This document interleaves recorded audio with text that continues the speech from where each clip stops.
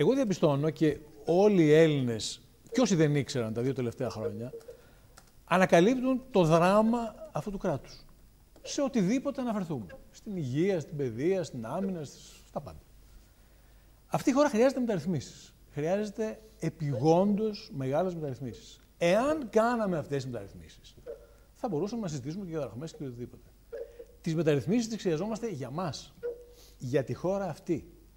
Εγώ θεωρώ ότι οι μεταρρυθμίσεις θα γίνουν μέσα στο ευρωπαϊκό πλαίσιο και δεν θα γίνουν γιατί δεν έγιναν ούτε καν εδώ.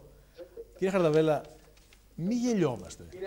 Έχουμε υπογράψει ορισμένες συνθήκες. Έχουμε υπογράψει. Περιμένετε, κύριε Κατσανέβα, γιατί υπάρχει πρόβλημα σύνδεσης. Περιμένετε, θα ακούσουμε σε εσάς. Εσάς. Και το γεγονός ότι έχουμε υπογράψει δεν σημαίνει ότι εκτελούμε αυτά που έχουμε υπογράψει. Έχουν δίκιο οι άνθρωποι που μας δανείζουν να λένε να περιμένουμε να δούμε τι θα κάνετε. Καλό μας κάνουν αυτές τι παρατηρήσεις. Κακό δεν μας κάνουν.